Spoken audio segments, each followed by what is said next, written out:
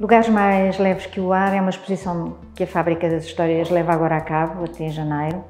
É uma exposição de Maia Fernandes Kemp e Martinho Costa. Uh, o nosso tema era habitar uh, e começamos por convidar a, Maia, que depois fez questão de trazer um outro amigo, ela é de escultura, ele de pintura, para trabalharem este mesmo tema. Curiosamente, com, com, esta, com esta parceria que fizeram os dois artistas, foi possível não só trabalhar o habitar, ou vai ser possível, principalmente com as escolas, não só trabalhar o habitar, como trabalhar o coabitar. Como é que duas linguagens artísticas tão diferentes, como a pintura e a escultura, se conseguiram hum, encaixar, não no sentido de um puzzle, mas de uma forma muito harmoniosa uh, para contar as suas diferentes narrativas, a Maia com os seus personagens e o Martim Costa com os seus lugares. Então, esta exposição chama-se Lugares Mais Leves que o Ar e surge um, de um convite da Ana Marelos, um, que viu o meu trabalho e uh, convidou-me para expor aqui na casa um, Jaime Belino, Fábrica das Histórias.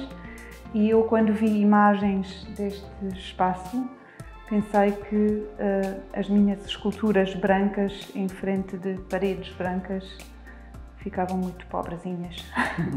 e então convidei o meu colega e amigo, Martinho, que, cujo trabalho eu gosto muito há muito tempo. E uh, então a exposição é composta pelos, pelas minhas esculturas e as pinturas do Martinho.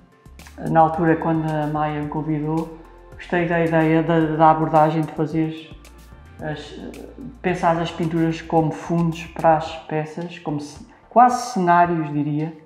Trabalho de pintura, de repente ter esta relação com a escultura assim tão, tão direta, mesmo de interferência, mesmo de choque entre as duas linguagens, que era uma coisa que eu acho que era interessante de se fazer. E, e depois o, também criar essa esse, essa, essa, esse choque e, e, a partir desse choque as pessoas podem criar essas fábulas.